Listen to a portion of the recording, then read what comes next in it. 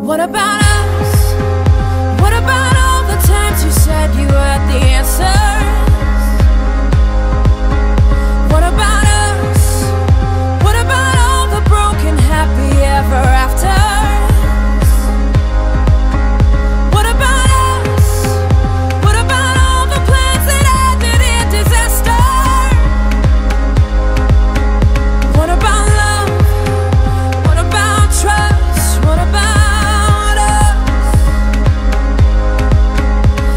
We are problems that want to be solved.